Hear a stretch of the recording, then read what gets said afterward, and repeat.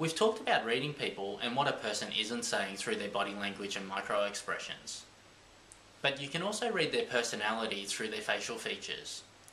I've watched you do this over and over, you've read me, my wife and my four year old son and we've all been amazed. But how does it all work? Think first of the muscles in your body.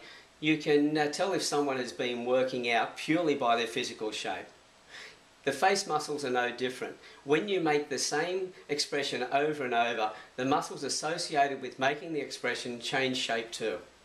For instance, the muscles above the eyebrows will thicken when somebody focuses a lot, which is the same for any other focused expression.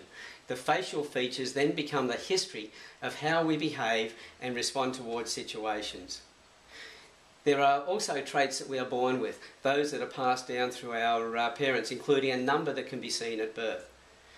They say that we are the product of all of our experiences, or more accurately, we're the product of all of our reactions to all of our experiences. And these are all recorded in the facial and uh, physical features. They are recorded, uh, the recordings for our uh, behaviours which make up our uh, personalities. Recognising these features is the GPS to reading the personality. Is this a skill anyone can learn?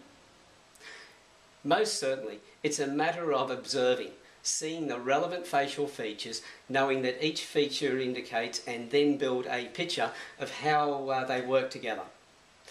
The result is that we are then able to see the person as a unique individual.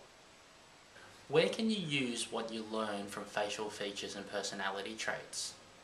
In business, for instance, in training sales teams to connect more effectively, team building, uh, and when new staff members come in. Without the need to put everyone through a uh, personality question, questionnaire, you can read them at a glance and know how to connect with them. Then there are private relationships, you know, so that you can uh, better understand your partner. But the most important of all is career selection for students deciding what career they should follow and for mature age workers seek, seeking a change in their careers.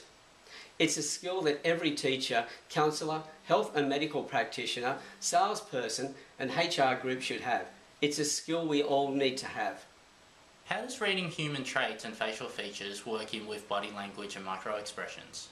When somebody reads uh, micro expressions, no matter how good they are when they, when they were training, the best uh, readers' performance will drop to a level of around about 70% accuracy when faced with a real life situation. Although I read micro and subtle expressions at an expert and master proficiency level, I found that to be absolutely true myself.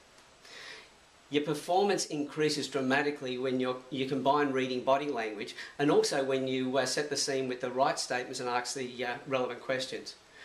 Together, these help you to read and uncover what's really happening in the moment. They uncover somebody's immediate, true emotional response to situations. They can't, however, tell you how somebody is likely to behave in the future situation occurs. Uh, reading human traits can, though.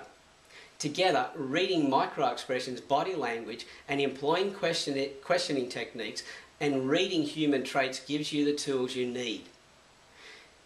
They become the skills to reading and learning social emotional intelligence.